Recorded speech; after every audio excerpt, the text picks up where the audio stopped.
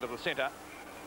Knocked away by Wow Jones. Picked up by Murrah. Murrah back to Reece Jones. Reece Jones. Who bring it away. The kick floating towards the line and that wing pulling it over on the full.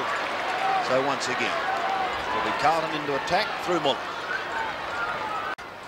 McConville picks it up, hooks it down towards the centre wing. Diving attempt, well taken by Ian Muller. So Muller now from centre wing. Aspin getting the hoot from the Melbourne supporters. Out it goes wide. That's Muller taking that mark. That's the boy that came on the ground. We didn't have him listed in the record. Kicked by Muller's a long one up there looking. Final side who plays in the Army Reserve. Uh, Peter, every year there are a number of senior players in that position. There's one boy that's certainly going to be with the club for a while. Well, Carlton uh, feel, I know the Carlton feel he's almost there as a player. Oh, a one out duel, McKenzie and Byrne. Over the back is McKenzie. As the ball hits the deck, what is it? It's a free kick going Carlton's way to Muller.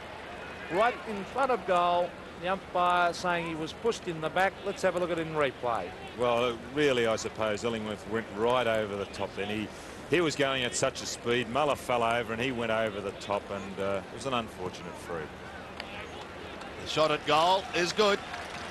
Oh. Controls it beautifully, gets the long handball away to the player in Shine running past. Shine fires at goal and puts through another one. And Carlton's looking the goods. Well, that was very good running by the Carlton team.